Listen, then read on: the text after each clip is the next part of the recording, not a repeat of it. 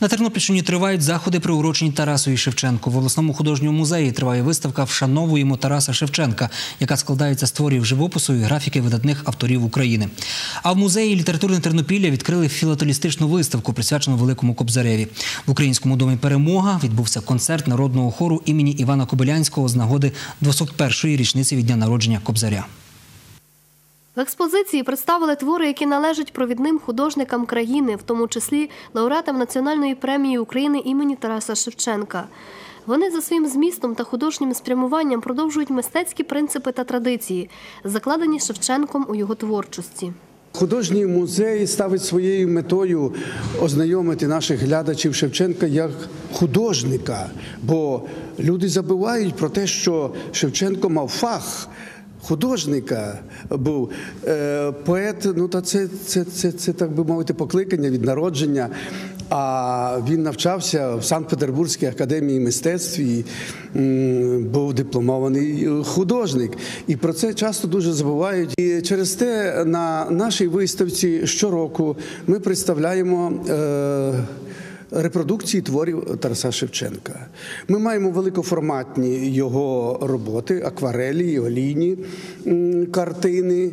На виставці є полотна народного художника України, лауреата Національної премії України імені Тараса Шевченка Миколи Максименка, живописці Анатолія Хмари. Поетичні твори Кобзаря стали джерелом натхнення для створення графічних робіт. Представлені також унікальні роботи тернопільського художника, заслуженого художника України Андрія Ткаченка, який в 60-63 році був на півострові Мангишлак, там, де перебував на засланні Тарас Шевченко. І він змалював е, ті. Ті краєвиди, які власне ми бачимо на в акварелях Тараса Шевченка, бо він багато околиці Мангишлаку, там Новопетровського укріплення. Е, і е, Андрій Ткаченко, е, царство небесне, він помер вже, але перед смертю він передав нам якраз п'ять таких оригінальних пейзажів, які ми кожного року виставляємо. У фондах музею сотні графічних, скульптурних, живописних робіт, присвячених Тарасу Шевченку, який залишив нам свої неоціненні духовні надбання, твори і світлу добру пам'ять про себе. У Тернополі розпочалися традиційні для березня Шевченківські дні. Багатогранність таланту однієї із найважливіших постатей в історії України відобразилася не лише у його творчості, а й широкому спектрі пошанування великого кобзаря різними поколіннями українців. Одним із проявів такої шани до великого генія є маловідомий напрямок філателістичний. Про це свідчить виставка поштових мініатюр. Це спроба показати Тараса Шевченка в поштових мініатюрів, мініатюрах різних видань країн світу. Хочу сказати про те, що нині існує 94 офіційних видання, присвячених Тарасу Григоровичу Шевченка. Це, зокрема, українські видання, зарубіжні, колишні видання Радянського Союзу.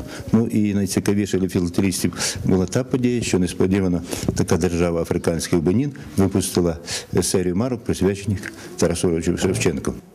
Серед різноманіття філателістичного матеріалу тут представлені марки, присвячені Тарасу Шевченку, емісія яких здійснювалася в Україні, Америці, Канаді, Аргентині, Болгарії, Грузії, Парагваї, Чехії, Словаччині.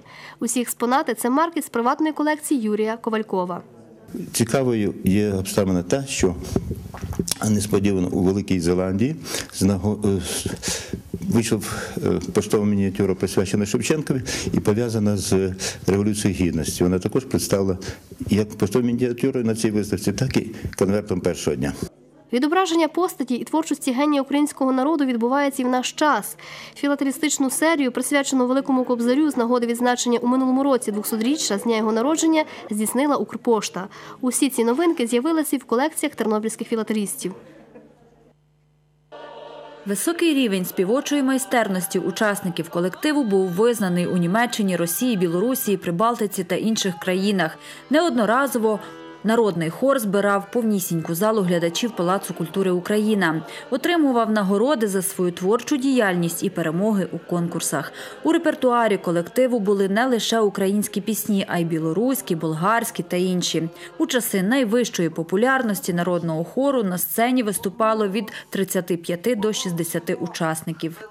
Сьогоднішній день це надзвичайно важливий, адже Шевченка це наш Мойсей український. І ми, ви знаєте, всі учасники надзвичайно хочуть виступити, тому що ми любимо Шевченка. Кобзар це наша настільна книга. Як зазначають хористи, всі вони виступають на різноманітних заходах на громадських засадах. Головне їхнє бажання відновити творчу діяльність, зберегти славетне ім'я колективу, дарувати людям радість і отримувати духовне задоволення від зробленої справи. Ми сьогодні в такий складний для України час хотіли в першу чергу підняти дух нашого народу, ще і ще раз повторити ті мудрі слова Шевченка борітися, поборити. А поборемо ми тільки правдою, живою правдою і мудрістю своєю, єдністю. Під час концерту в українському домі Перемога прозвучало більше 20 пісенних композицій, 14 з яких виконував хор у повному теперішньому складі, а інші представлені були малими вокальними формаціями, солістами, дуетами, тріо. Їхнє щире виконання цього дня торкнулося серця кожного глядача.